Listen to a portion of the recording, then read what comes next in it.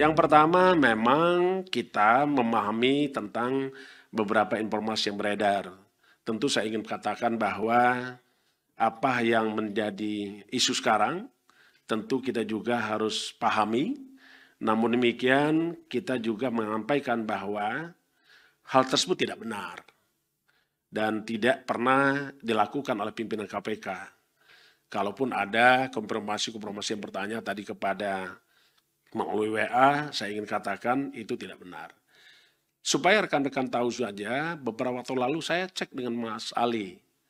Beberapa kali terjadi eh, eh, penyalahgunaan foto maupun eh, picture yang mengatasnamakan, ada berapa kali mengatasnamakan pimpinan. Menghubungi beberapa kepala daerah, bahkan menteri, bahkan anggota DPR RI pun pernah Ya, saya tidak tahu siapa yang melakukan itu uh, dengan meminta segala sesuatu. Pak Ali sudah pernah menyampaikan waktu itu. Yang berikutnya, kami juga ingin sampaikan bahwa sampai hari ini kita tidak akan pernah berhenti untuk melakukan pemberantasan korupsi itu. Yang berikutnya adalah tentu kita ingin menegakkan hukum ini sesuai dengan ketentuan peraturan perundang-undangan dan tentu kita tetap menegak hormati hak asasi manusia. Itu yang pertama. Untuk menjaga kesehatan dan kebugaran saya, memang saya sering melakukan olahraga bulu tangkis. Ya, setidaknya itu dua kali dalam seminggu. Dan tempat itu adalah tempat terbuka.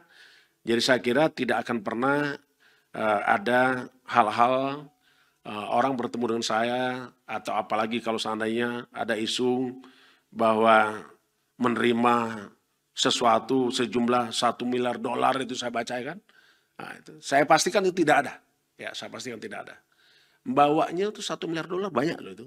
Ya, itu satu. Kedua, siapa yang mau ngasih uang satu miliar dolar itu? Ya, saya itu yang yang berikutnya saya itu yang pastikan adalah apa yang terjadi hari ini adalah tidak pernah terjadi di pada pimpinan KPK dan KPK tetap bekerja sebagaimana ketentuan uh, hukum. KPK juga tidak pernah uh, berkomunikasi dengan para pihak, apalagi yang tidak dikenal. Saya di Kementerian Pertanian itu kenalnya hanya menteri. Di saat rapat, uh, rapat terbatas maupun uh, sidang kabinet paripurna.